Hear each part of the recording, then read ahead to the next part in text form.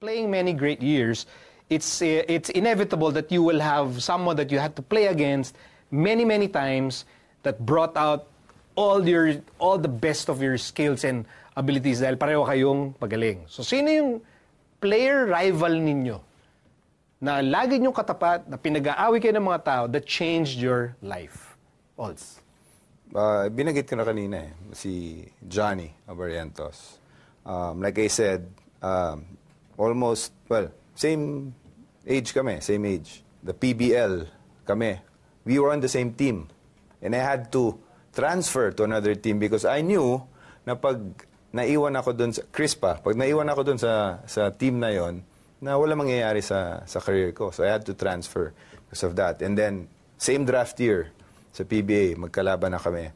And then al- almost the same year kami nag-retire.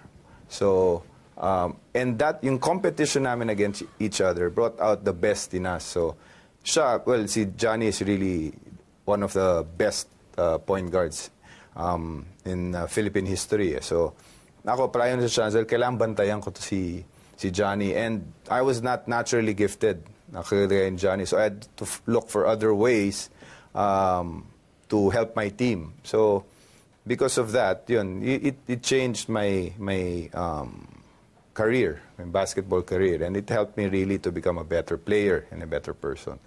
And then you ended up being on the same coaching staff, and then you Yeah, so- and now ended up being great friends. And uh, but it but it all started with that rivalry. Yes, in high school. Ganun katagal yung rivalry namin. eh. Jojo.